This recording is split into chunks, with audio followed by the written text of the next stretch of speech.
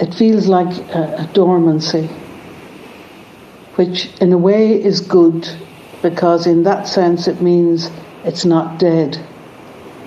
It's lying low for a while. Creative ebb feels like I'm drowning.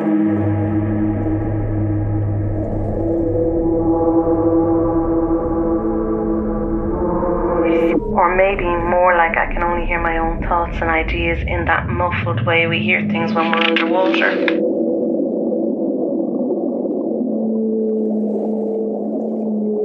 It's kind of just just immediate. Um, I usually come up for air, kind of dehydrated and.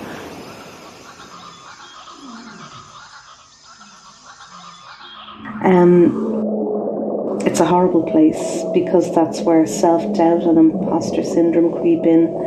And once they arrive, it seems even harder to pull myself out of the slump I'm in. When the creative tide starts going out, um, it's like as if the lights all go out suddenly and the landscape and everything around me is flat suddenly.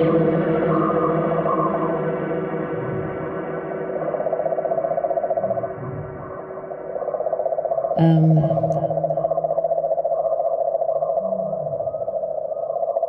there's a silence that happens.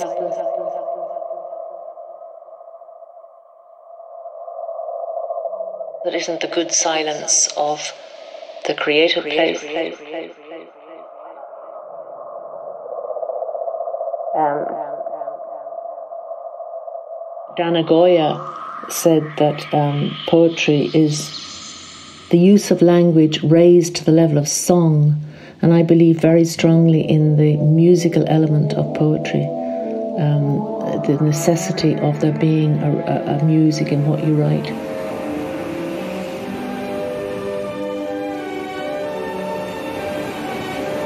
And when it's not going well, when the tide is out, that um, that music just stops.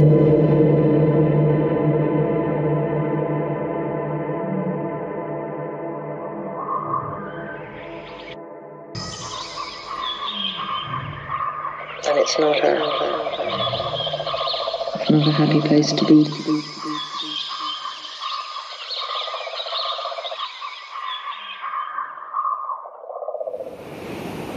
Creative ebb feels like the opposite of creative flow.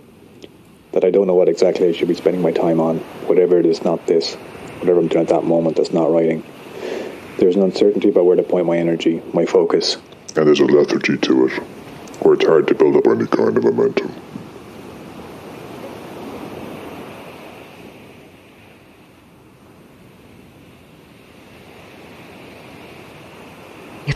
Absolutely terrifying.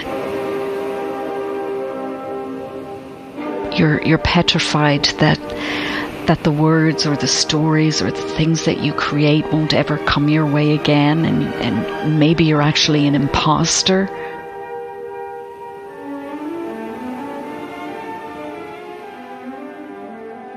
This happens to me maybe a few times a year, and when I'm in it, I feel incredibly overwhelmed. It affects my mood and the amount of energy and attention I can give to other things in my life. But creative ebb feels like that to me. It feels like a big full stop, a big block, block, block. Uh, I don't like it. It gives rise to a feeling of panic, panic, panic, panic, panic. Maybe it's that whatever I put into it, I've used up. And now it needs to be replenished or refueled. Before, I would have thought that my creativity was lost. And I have felt in the past, and I'm sure could feel again, very fearful, which is difficult to get over. Oh, I've got to hit this word count. I've got to finish this chapter today. You're not good enough. Your work isn't good enough. The first draft has to be ready by Christmas. This is crap.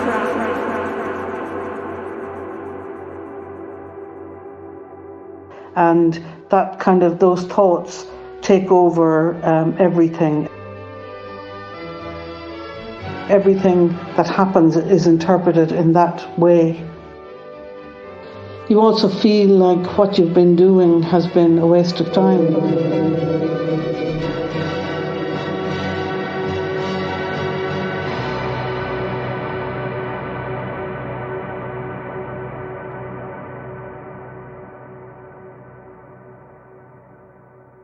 Uh, writers have a well known tendency towards being neurotic and we can shut ourselves down.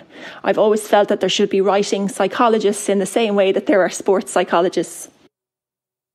It can be really tricky to get over the psychological hurdles that can affect our writing practice. If it's not going well, it can be agonising. It takes a lot to manage those thoughts. I do so anyway by um, uh, just trying to focus on process, you know, that it's part of the process. It's a natural part of it. It's an inevitable part of it, and I think you can't really beat yourself up about it. If you write consistently, you will have periods, you know, recurrent periods of, of being stuck. It may not last very long, but um, it does happen, and it's it's you have to kind of you know resist it, push against it a little bit, keep turning up and keep trying to write, but also know when to maybe when to maybe like leave something for a day or two, you know, and again just trust your your unconscious that it'll it'll, it'll come up with any solutions if you're if you're, if you're kind of stuck, you don't know where the story has to go next or whatever. Um, so I've learned to be patient uh, with that and kind of just trust my mind. I'll either be buzzing or completely exhausted. Then, if it's the end of a big project, I can feel pretty restless, like I want to jump onto something new, but that's rarely a good idea. So I try to relax a little, spend time with family, refuel. Um, the feeling as if I have to hold my breath underwater and just wait. And as I'm using the words ebb and flow now in the same sentence, in relation to the creative process, of course there has to be ebb and flow. It's natural that that would happen. And there has to be an ebb in order for there to be a flow. But ebb time is not one that I enjoy. Um, I just try to enjoy it, enjoy that time. It's all it's all part of it. The ebb for me is a time to relax into whatever it is I'm doing. The ebb carries the momentum of what is generated in the flow, but at a gentler pace. There's always a still turning point in the tide cycle, a rest period, the passing of the baton, a giving and receiving. So it's a bit like waking up after a night of vivid dreams and coming back into the, the physical world again. And I usually feel tired, but elated and sated. And the best way I can describe it is it's a bit like the feeling one gets after an orgasm. That sense of release after bringing forth whatever is within me. And my body and my mind are filled with those after sex feel good hormones that just make everything in the world perfect for a few moments at least.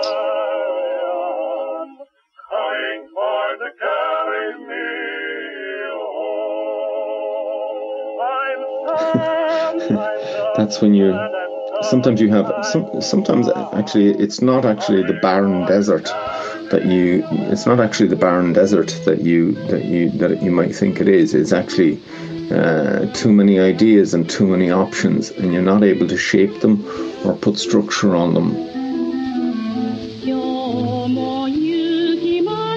Or as has happened to me i suppose recently you're not able to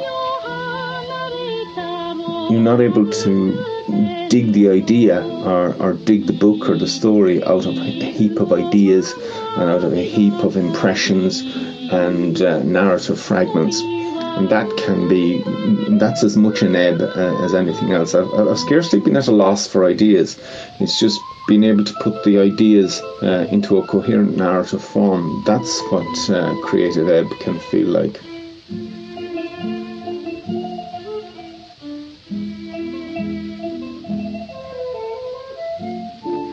Sometimes I actually take time off I mean, naturally, like a weekend or a week if I'm away.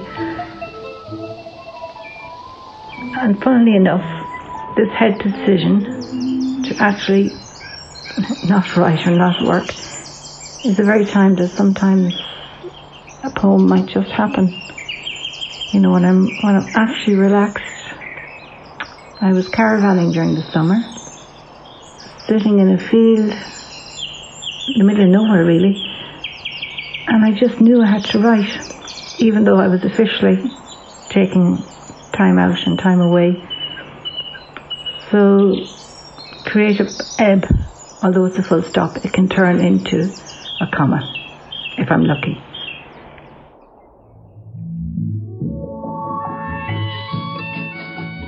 I tend not to force it because sometimes you can try to be too deliberate about poetry and there's something willed about the poem and it tends not to work for me. There shouldn't be really anxieties about periods when you're not writing.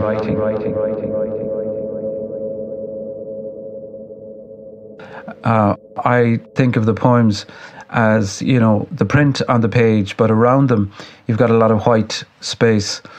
And that's white space for me represents the silence, silence, silence, silence, silence, silence, silence, silence, silence, silence, silence, silence, silence, silence, silence, silence, that is there when you're not actually um, working on poetry or feeling part of that creative impulse. And maybe as much as writing poetry, I think that poets can also listen to a kind of silence uh, because there is a lot of noise in the uh, uh, creative process. And I think unless we're attuned to our own silence, uh, then the poems, when they do come, um, maybe don't spring from the same piece. So I'd like to give a kind of uh, space to silence, silence, silence, silence, silence, and, and periods when you're not actually not inclined, inclined or stirred to, to to write anything. I generally don't have that problem. I always feel that it's always there and it's just waiting for me. It may not always be responsive, but if you look and listen hard enough beneath the surface, you always find it. You instinctively know where it is. Creative ebb could be a little bit like what they call writer's block. But I don't experience that very much. Yeah, I tend to take notes a lot and do keep at things a bit, and eventually you get into a, a kind of role or creative flow, whatever you want to call it but I, I, the ebb, I, it doesn't really interest me that much. I have, a, I, I get on with things, and I don't take much notice of times when I don't feel like doing stuff. It's like anything, I suppose. You feel like it sometimes, other times you don't. You feel like something else.